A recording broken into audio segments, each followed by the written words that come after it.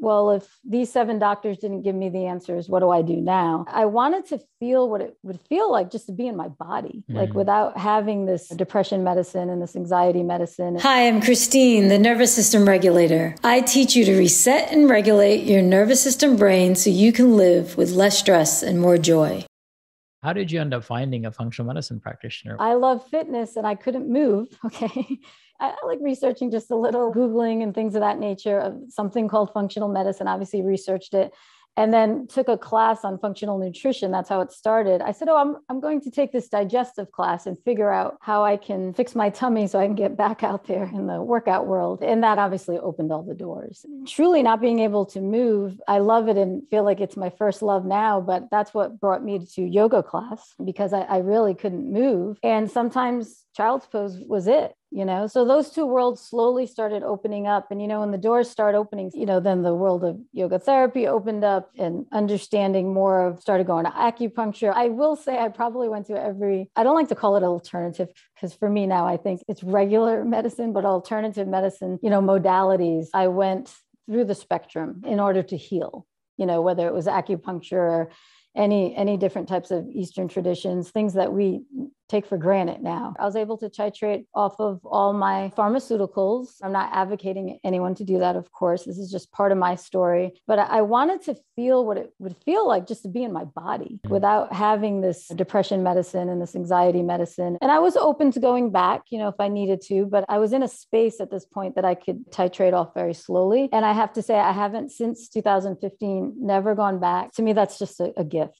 If you go about it the right way, right? And that's the testament too to how our bodies can heal itself. It's amazing how capable we are when we provide the right environment and we identify some of the root cause mechanisms that are taking our body out of homeostasis and balance. Mm-hmm. So tell me a little bit more about polyvagal theory. So first of all, what exactly is polyvagal theory? Polyvagal theory is, is an updated map of your autonomic nervous system. You know, a lot of times as practitioners, we speak about the sympathetic state and the parasympathetic state, right? Fight or flight, rest and digest. And those are states in the autonomic nervous system. But Dr. Stephen Porges, he's the doctor that discovered this theory, it goes well beyond that what excites me as a practitioner is this theory he discovered that there's a predictable hierarchy of how our responses occur in our autonomic nervous system. And this is extremely valuable because if somebody has trauma, if somebody has mental health challenges, I think we all can use this theory, but it now allows us to reframe and reset and shift our nervous system, just like we've learned to do that from a neuroplasticity standpoint, from our brain standpoint. So it is quite powerful. To break it down even more for people that have never heard of it, I essentially use it to teach my clients clients to be active operators of their nervous system. So they will learn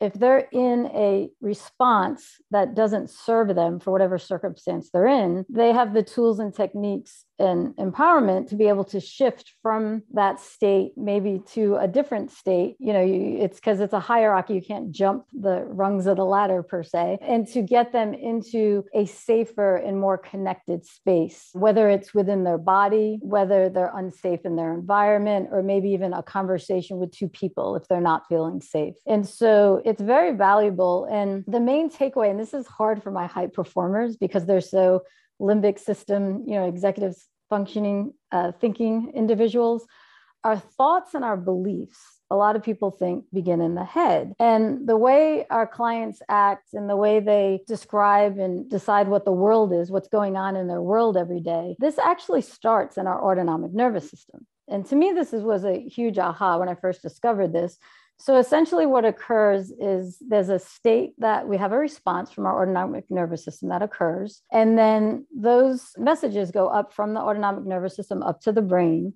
And then the brain essentially creates a story to make sense of what just happened in the body. I do a lot of bottom up approaches, meaning you know, we speak 80 20, some practitioners say 90 10, but the body speaks up to the brain a lot more than vice versa. And so this is really important when either A, if you had layered health conditions like me, when I first started taking the protocols from my doctors, they weren't working. And unfortunately, my body, my gut, my mind, my terrain wasn't in a place. Like if I'm preparing for that Super Bowl of taking those protocols, my body was nowhere near trained to do that.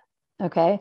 And so the polyvagal theory is one modality that's used to help me be able to create that safety within my body.